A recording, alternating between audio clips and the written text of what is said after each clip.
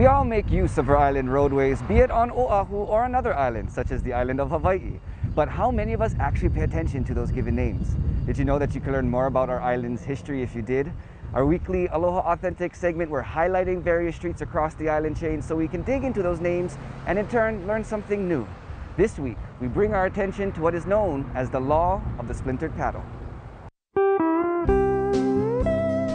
Circling the island of Hawaii, passing through all its moku, stands a main roadway that takes us back to the first written law of Kamehameha's kingdom.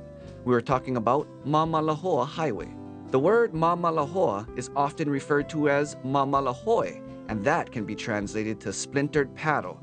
Known as Ke Kanawai Mamalahoe, the law of the splintered paddle protected the innocent and defenseless from unprovoked attacks, especially kupuna and keiki.